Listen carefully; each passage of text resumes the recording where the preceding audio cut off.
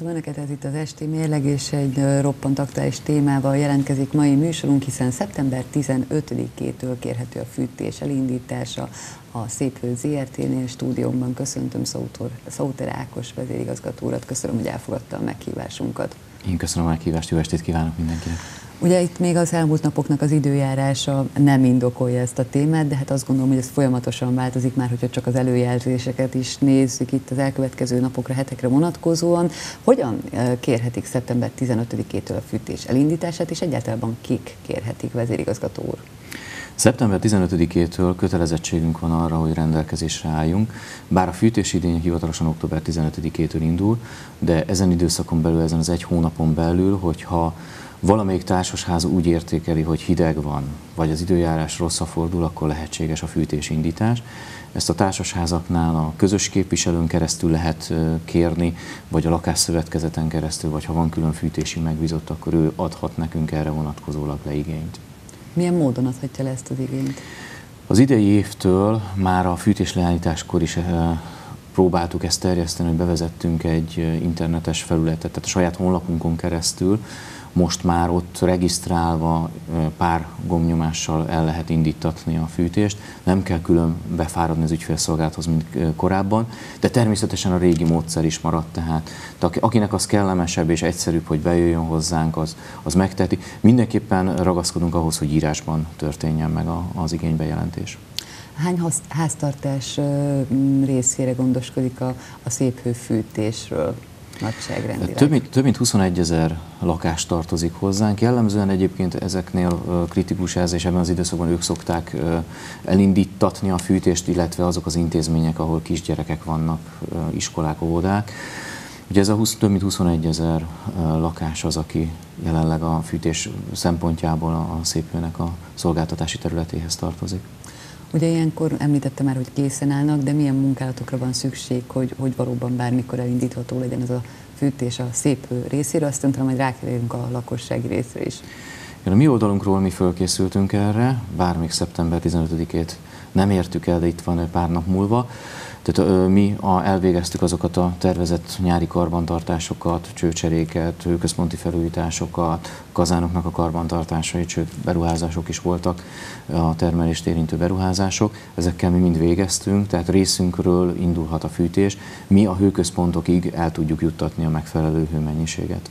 Aztán a többi az már ugye nem önökön múlik. Itt mit kell tudni, mik azok a tipikus hibák, amik mondjuk gyakorta évente előfordulnak a lakóknak, a társasházaknak, vagy a lakásszületkezeti lakásoknak? Hogyan kell felkészülniük erre az időszakra?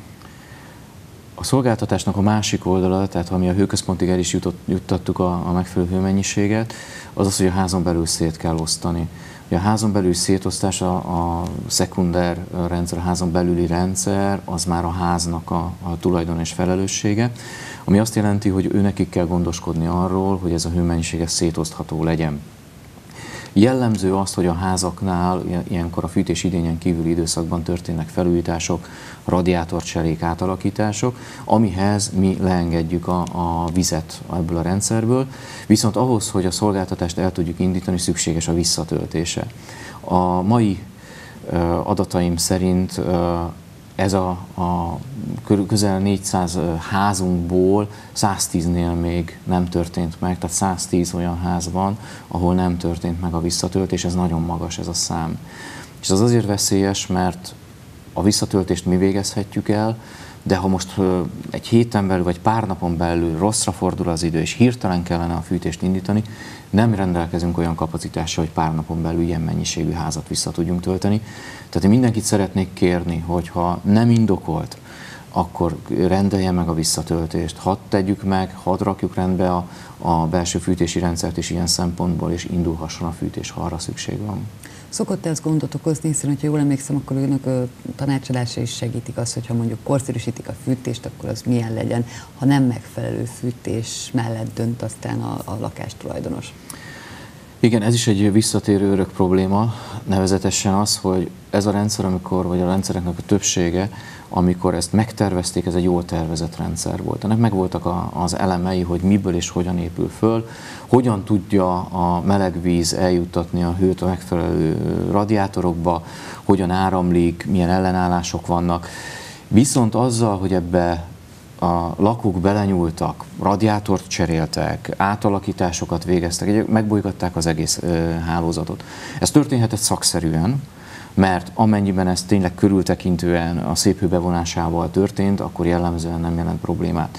De sajnos nem egyszer tapasztaljuk azt, hogy a belső rendszer nem szakszerűen lett átalakítva, és ennek következtében viszont az egész háznak a fűtése átalakult, tehát az egész háznak a kiegyenlítettsége meg tud változni, és lehetséges az is, hogy a, az egyik szélső lépcsőházban volt a, az átalakítás, és egészen máshol jelentkezik a probléma. És sajnos ez olyan, hogy a, lehet, hogy az, aki átalakítást végezte, ő azt mondja, hogy őnek nincsen problémája, de valahol másút problémát okoz, és ez vissza is hathat, mert hogyha jön egy harmadik lakó, aki szintén végez egy szabálytalan átalakítást, akkor lehet, hogy pont annál lesz probléma, aki korábban azt mondta, hogy hát az ő átalakítása az nem okozott senkinek semmit. Úgyhogy ezért én ebben is szeretném kérni azt az együttműködést, amit egyébként jogszabály is előír, hogy nekünk igenis be kell mutatni azokat a terveket, illetve azokat a, az átalakítási szándékokat, azt velünk meg kell konzultálni, pont azért, hogy az ilyeneket el tudjuk kerülni. Az is átalakításnak számít, hogyha mondjuk a rendszer marad, de a radiátort cserél kisebbre, nagyobbra? Igen. Igen, mert azoknak a radiátoroknak is megvan a maguk ellenállása, a hőleadó képessége, és azt figyelembe kell venni akkor, amikor egy radiátort cserél az ember. Akkor mondhatjuk azt, hogy az sem mindegy, hogy melyik lakásban milyen radiátort tesz fel az ember. Lehet, hogy egy kisebb lakásban elegendő, egy nagyobban már más kell. Igen. Ez is. Igen, igen, tehát vizsgálni kell ehhez mindenképpen azt, hogy milyen radiátor volt ott, mi lesz lecserélve, milyen hőleadó képessége volt, milyen ellenállással rendelkezett, igen.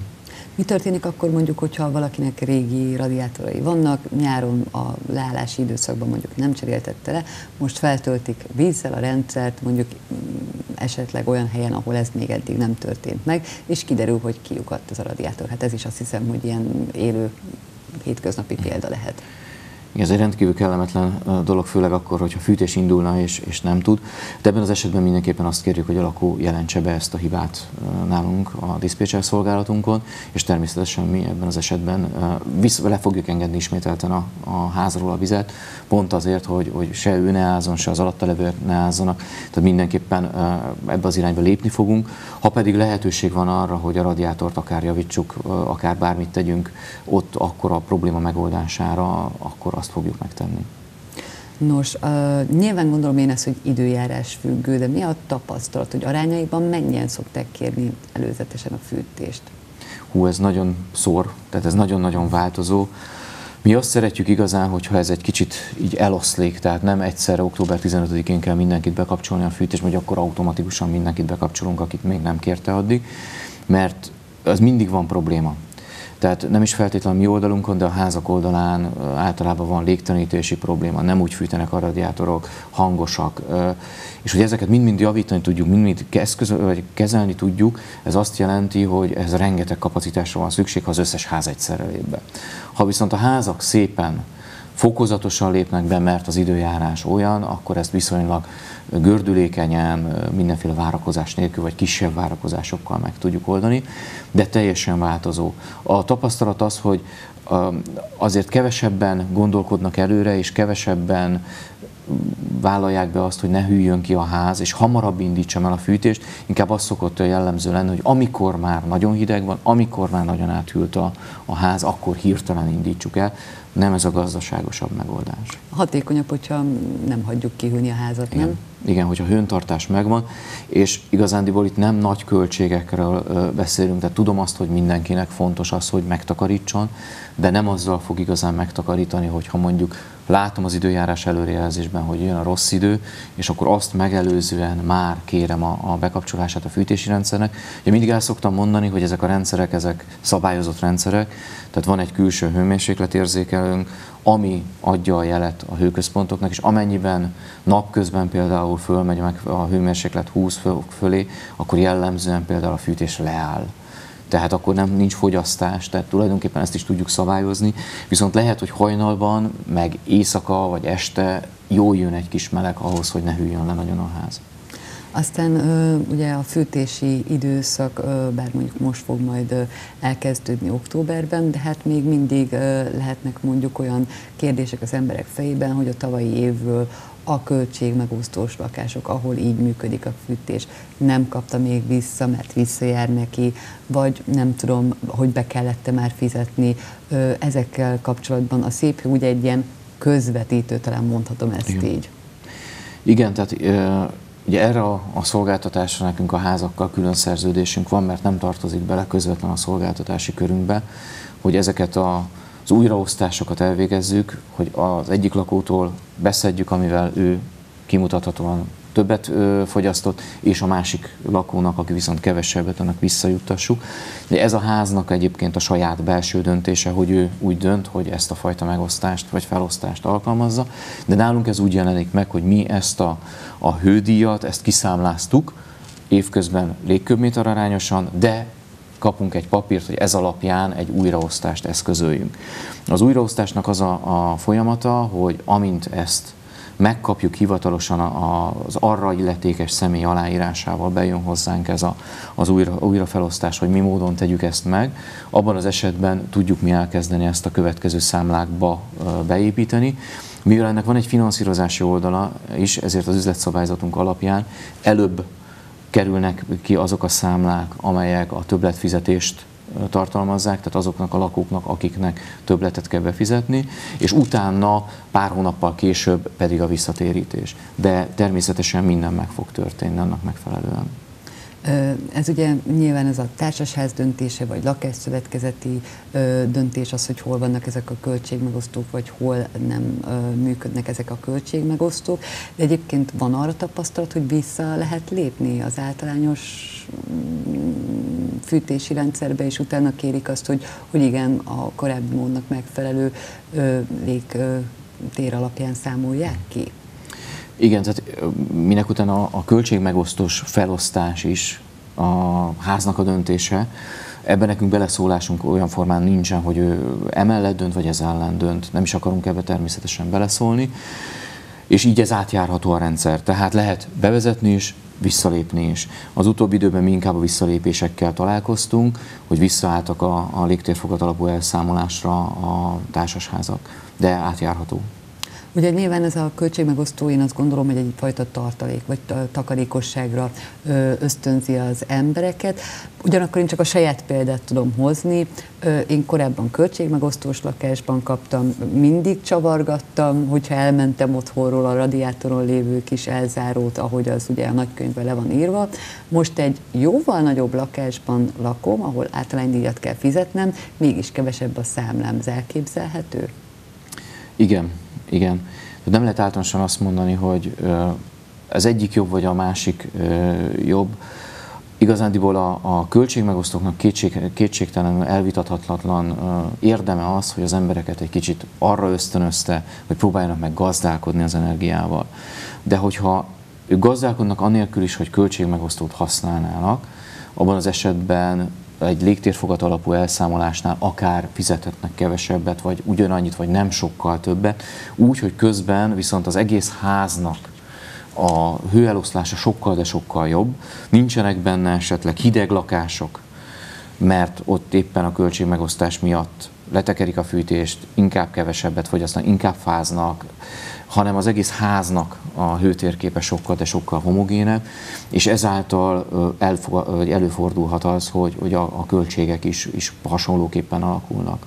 Hiszen talán nem is sülhet ki annyira a ház, az egész házról nem, beszélünk. Nem, illetve az a probléma is megszűnik, mivel hogy homogén a hőtérképe, hogy a, az egyes lakások, ahol úgy gondolják, hogy nem fűtenek, főleg a belső lakások, őket körbefűtik a többiek. Tehát tulajdonképpen ott, aki úgy dönt, hogy ő letakari a radiátorokat és egy belső lakás, akkor ő neki a komfortját a szomszédai biztosítják valamilyen szinten. Na most, hogyha ha légtérfogat alapú az elszámolás, akkor senki nem érdekelt abban, hogy úgy tekerje le a, a fűtését, hogy irreálisan, abban érdekelt esetleg, hogyha elmegy otthonról, akkor gazdálkodjon a hővel, mert az mindenkinek jó, de nem feltétlen szükséges az, hogy irreális módon tegye ezt, és innentől kezdve a lakások nem tudnak kihűlni, és mindegyik egymáshoz képest is egy, egy normál hőmérsékleten van.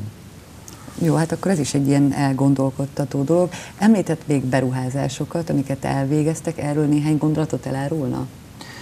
Igen, természetesen. A hőtermelő oldalon a királysor vitelepeinknek a kitelepítése az, az folyik tovább. Ugye jelenleg a Bakony utcában már három 20 megawattos korszerű kondenzációs gázkazánunk üzemel.